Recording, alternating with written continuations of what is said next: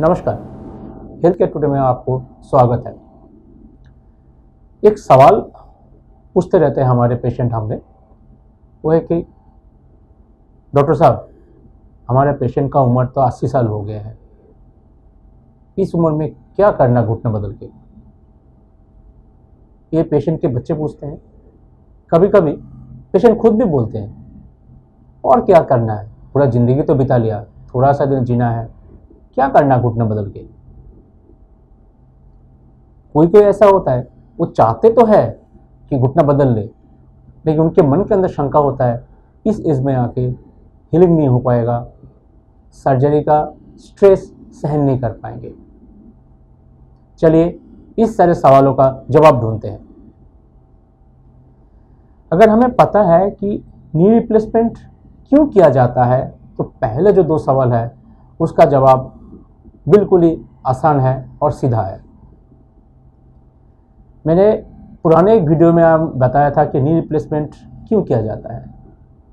Knee replacement किया जाता है ताकि किसी के क्वालिटी ऑफ़ लाइफ में इम्प्रूवमेंट हो जाए।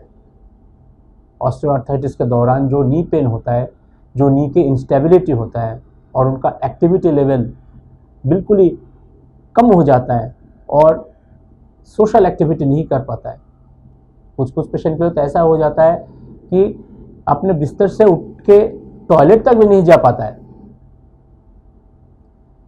अगर ऐसा स्थिति में नी रिप्लेसमेंट के बाद कोई सक्षम से अपने आप ये सारे काम कर सकते हैं तो फिर क्यों नहीं करना चाहिए? उम्र कितना भी हो। हाँ जो लास्ट वाला सवाल है, क्या इस उम्र में इस सर्जरी का स्ट्रेस सहन कर पाएँगे? सो बेसिकली जब भी हमारा कोई पेशेंट होता है जिनका नी रिप्लेसमेंट के लिए हम सोचते हैं और पेशेंट भी चाहते हैं कि उनका नी रिप्लेसमेंट हो तो हम सर्जरी से पहले उनका सारे जाँच पड़ताल कर लेते हैं। देख लेते हैं कि घुटने बदलने के सर्जरी के दौरान जो स्ट्रेस आएगा, उस तरह का स्ट्रेस वो झेल पाएँगे कि नहीं। वो देखने का सहज तरीका होता है कि उनका कार्डियक फ़ंक्शन कितना है कार्डियक रिज़र्व कितना है। हमारे पास तरह तरह का टेस्ट है कार्डियक एक्टिविटी देखने के लिए, वो सारे टेस्ट करते हैं और कार्डियोलॉजिस्ट के पास बहुत अच्छा स्कोरिंग सिस्टम है, जिसके द्वारा वो निकाल लेते हैं कि कितने परसेंट कार्डियक रिस्क हो सकता है।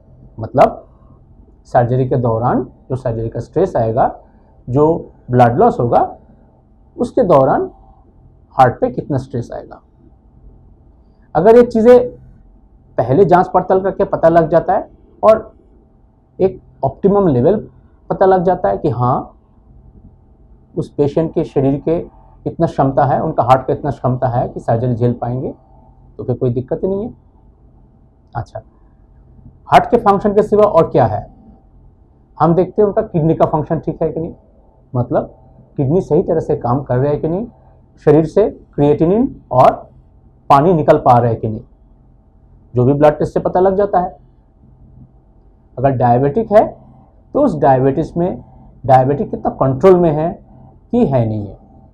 क्योंकि जो हीलिंग है अनकंट्रोल डायबिटीज़ में हीलिंग नहीं होते सो बेसिकली हम एक ओल्ड एज में जो 80 साल के इसके ऊपर के ऐसे कोई हो, उनका नी रिप्लेसमेंट करना है तो ये सारे चीज़ें हम जाँच पड़ताल करके देख लेते हैं। हमारे एनास्थेटिस्ट टीम हमारे कार्डियोलॉजिस्ट बाकी सारे जो डॉक्टर्स हैं, सारे मिल मिलके पेशेंट को देखते हैं।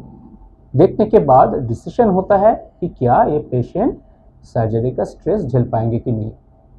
अगर इन सारे परीक्षा में वो उतर जाता है तो फिर तो कोई भी एज में कर सकते हैं। ऐसा कोई बात ही नहीं है कि किसी का उम्र अस्सी हो गया, पचासी हो गया तो सर्जरी करके क्या करना है? ये सारे निर्भर करता है कि वो पेशेंट खुद कैसे जीना चाहते हैं।